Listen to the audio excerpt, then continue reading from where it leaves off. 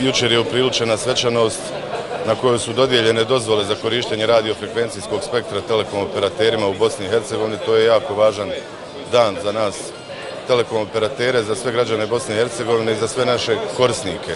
Mi smo jučer najavili da ćemo na današnjem otvaranju sajma privrede u Mostaru na našem izložbenom ovaj, štandu pustiti eksperimentalno 4G plus LTE Advanced tehnologiju, 4G plus generaciju za sve naše korisnike.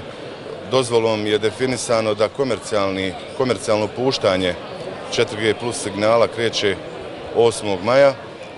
Mi ćemo iskoristiti to vrijeme da već prema našim korisnicima omogućimo što bolju pokrivenost, e, pokrivanje većih gradova, putnih pravaca i da ispunimo sve uslove definisane licencom. BH Telekom je spreman. Sa zadovoljstvom smo i velikim uzbuđenjem dočekali trenutak dobijanja licence, a za naše krajnje korisnike najavljujemo brojne benefite.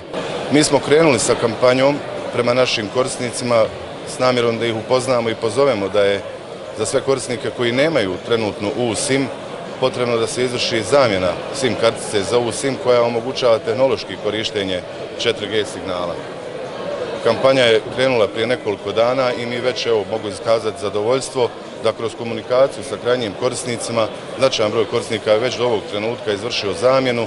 Naravno, s tom aktivnošću ćemo nastaviti, a očekujem da sa datumom, definisanim datumom komercijalizacije 8. maja, veliki procenat naših korisnika bude spreman i da koristi sve benefite kada je u pitanju 4G Advanced tehnologija radi se o mnogo većim brzinama prenosa podataka, sigurno i preko 10 puta većim nego što je to HSDPA plus tehnologija koju smo do sad imali, to je 3G e, generacija mobilne telefonije, tako da to je jedan od preduslova.